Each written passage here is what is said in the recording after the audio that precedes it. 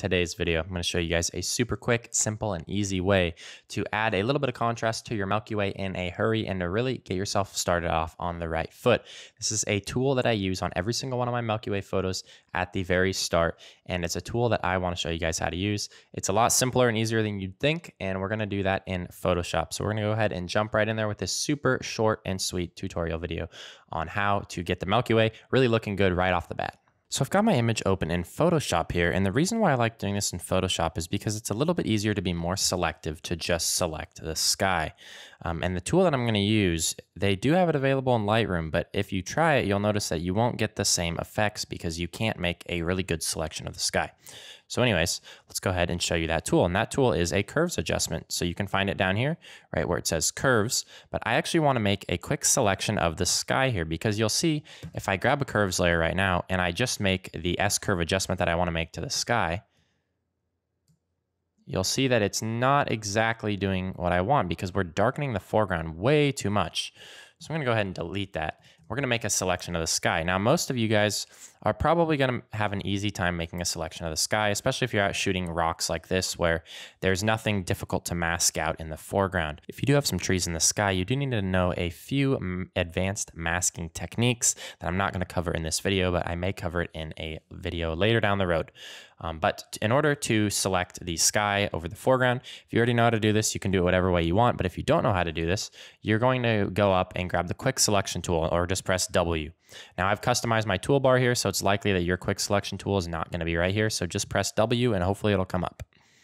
Now you can just click and drag around here and you can see that it's just going to snap very quickly to the sky.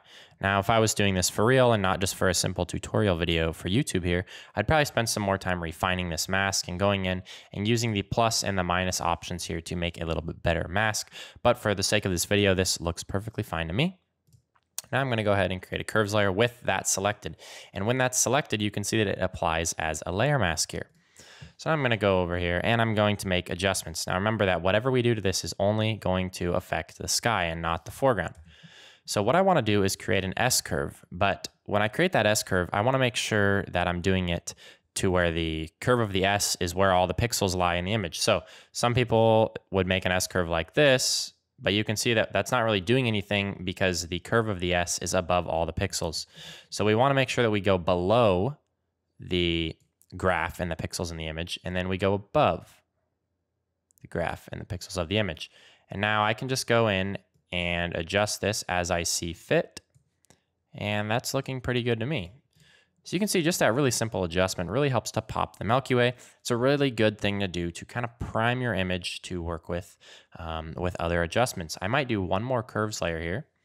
Going to create a curves layer. And now if I wanted to apply this layer mask to this curves layer as well, I would simply just have to hit the trash can down here to get rid of that layer mask. Then I'm going to hold command and click on this layer mask. On a PC, that would be hold control and click on the layer mask. You can see it's now grabbed that as a selection. Then I'm going to hit the layer mask button and it's going to apply here. So that'll give me the option to do a little bit more. And another way that you can adjust this that I really like doing is by using this finger tool up here and coming down. And this is going to allow me to adjust it by clicking on the image. So if you look at the graph over here, as I hover over the image, you can see that it's basically telling me exactly where the pixels that I'm hovering over lie on this graph. So I want to adjust these darks a little bit more maybe and probably right there. And let's just drag that down. And I want to bring up these highlights just a little bit more. So let's drag that up. And you can see we've added quite a bit of contrast here. So just using that really simple curves adjustment makes that super easy. And that's going to give you a lot better results when you do this technique called cross processing, where you're processing for the sky and then later we'll process for the foreground. It's going to give you so much better results by doing it that way because if you went into Lightroom and you just went up on the contrast slider, you're not going to get quite the contrast that we were able to get here because it's also going to be balancing it with the really dark foreground and the scene doesn't have a lot of contrast to begin with. So by doing it a little more selectively, we've added a ton of contrast and made this image already look so much better.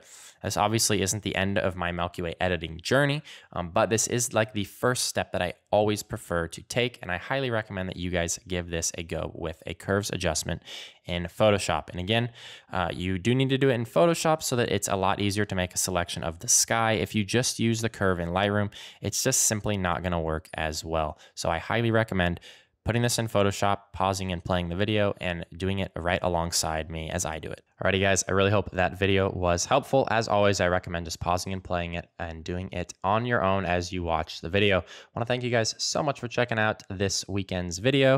Uh, as always, I really appreciate you guys' support, your comments, uh, your likes and subscribes. It all means a lot to me. So thank you so much, everybody.